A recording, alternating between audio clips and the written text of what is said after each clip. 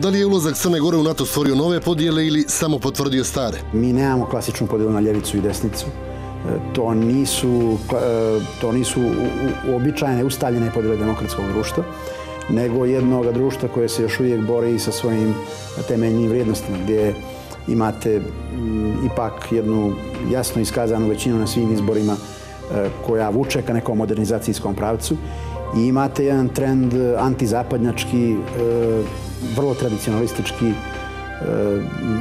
više nazadnjački nego konzervativan. Konzervativan je čak dosta uobičajen pojam u demokratijama, koji jednostavno ne može se pomiri sa time da ovo društvo ne želi više da bude društvo koje baštini ideje iz 19. vijeka ili ranije.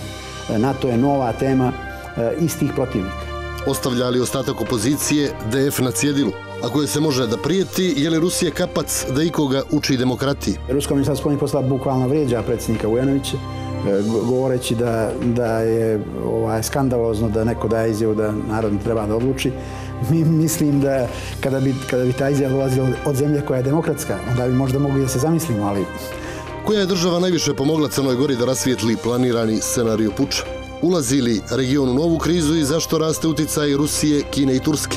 Zna li Evropska unija šta će sa Balkanom i ko zapadne ambasador informiše o Crnoj Gori? Vlasnici medija i nevladinih organizacija ili Ministarstvo vanjskih poslova? Srđan Darmanović, šef crnogorske diplomatije. Živa istina, neđelja 19.50.